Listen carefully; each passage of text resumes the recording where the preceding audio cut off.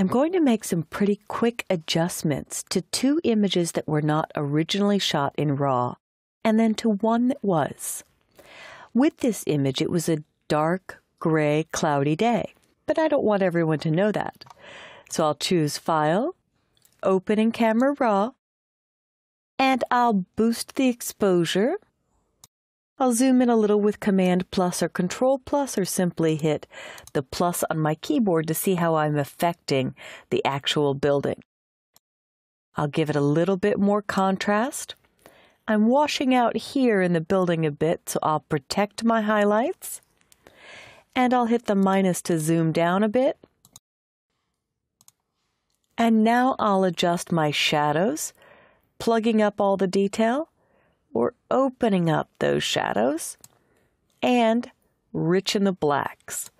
So with just a few moves, before, after, before, after. Could probably use a little bit of clarity as well. And if I notice that it looks slightly blue overall because it was a dark, cloudy day, I can move just a bit towards yellow and just a bit towards magenta to warm it up. Before, after. Now, maybe I do want to keep some of the cloud detail.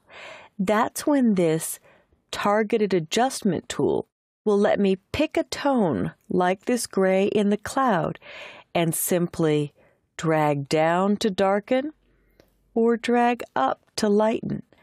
And it will affect tones throughout your image. So I'm still creating a bit more of a brighter day, but I've kept more of that cloud detail. So I'll hit done on this one and a huge improvement when Bridge updated the preview. I'll go to this next one and open in Camera Raw again since it wasn't originally shot in RAW. Dial the exposure down because this day was very bright, although there are some large clouds. I'll boost the contrast and just go through my standard procedure of adjusting these sliders until I get what I consider the perfect image or the best image I can get out of what I captured. Now here you could see the blue in the background in the sky. But as I mouse over this area, I'm getting all 254, maybe a slight variation. So this was completely blown out in the initial shot. There's not a lot I can do to bring that back. But what I can experiment with is the targeted adjustment to affect the overall sky and any tones that hit close to that. I can click and drag to richen it down or click and drag up to brighten it more. In this shot, the skater's point is paramount. And I'm going to let the sky drop out. It's not as important. In fact, I could add my own in Photoshop if I so choose. So I'll check and uncheck the preview, and it's a world better. Before, I lost a lot of detail in these palm trees. The overall image was pretty flat. After, everything is richer, more vibrant, and more clear. In fact, if I want more color, because there's a lot of tones in this iron sculpture here, I could boost the vibrance to see a bit more of those actual tones. So again, before, after. I didn't even know I had all of that detail in the image to capture.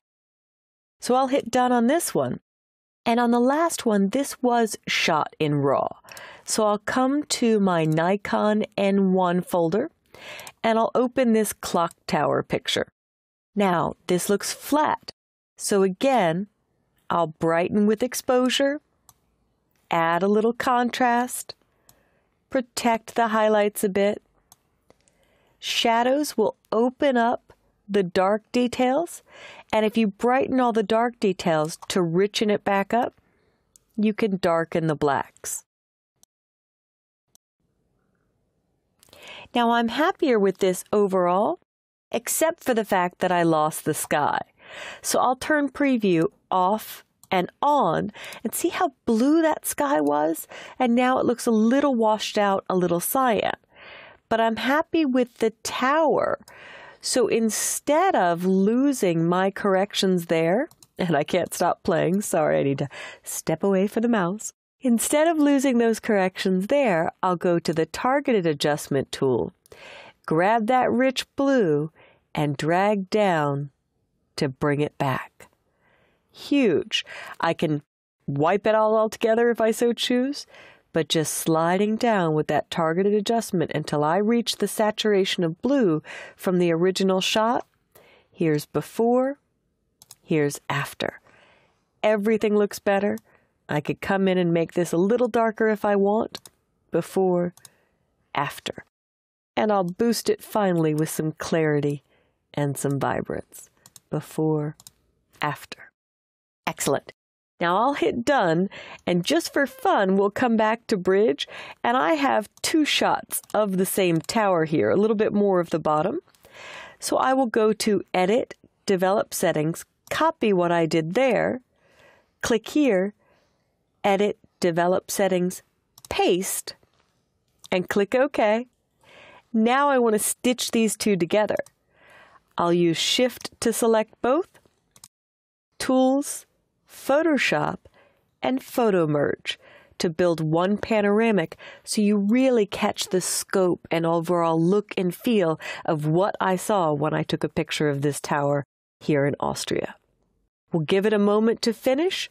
Photoshop is creating a layer out of each shot, and it even will blend, scale, and do a mask so that these line up dead on perfect. If I look with the Shift key and Shift click, you can see a little bit of the stitching and color correction on the seam, but now I have an outstanding shot. And I'll finish it off with a selection. I can use my arrow keys to nudge. I can use Option or Alt to take away some of the bottom. And now I'll do Image Crop. And there is my final color corrected, blended, targeted sky version. And let's get rid of the cables because they are taking away from the overall look of the image. So I will use my patch tool, but instead of keeping the layers, I'll flatten it. That way I don't have a 69 megabyte file. I'll end up with 32. So if you're happy with the blend that it did and you're committed, which I am, I can choose from my layer menu flatten image. And now, under the spot healing brush, use my patch tool to select this portion and repair with this sky. If I miss any parts, I can make another selection and repair again, or I often forget this, edit fill, content aware, and click OK. It's a newer feature, so I forget to go there first, but it did an outstanding job. And you would never know the cables were in the shot. So back to bridge, take some time, experiment with skies that you're losing. That's where I commonly use this, or any tone that's being wiped out with the overall correction by using the targeted adjustment tool to make your skies richer or brighter or to bring back any tone, lighter or darker. Good luck with Adobe Camera Raw and targeted adjustments.